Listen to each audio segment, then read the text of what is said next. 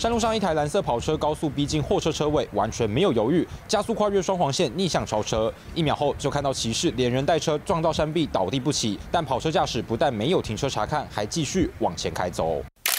安全帽上满满的刮痕，可见当下撞击力道非常大。警方到场将机车立起，地上还有破掉的碎片。自摔骑士双肩和背部大面积擦伤，还有轻微脑震荡，对车祸过程都完全没有记忆。因为我昨天完全不知道到底是什么状况哈，然后昨天原来是有一台是他好像是超双黄线，他是没跟我擦撞，然后我就是要斩他的车子吧，我就我就失控，我就自己撞撞到。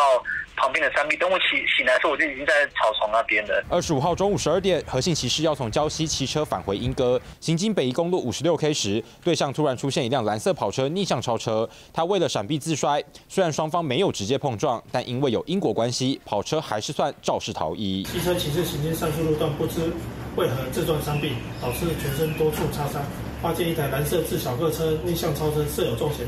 将依法通知说明，函重罚办。这次骑士惨摔断片，还好热心民众提供行车画面还原真相，不然骑士到最后恐怕吃了亏还不自知。三新闻吴冠、高昭林新北报道。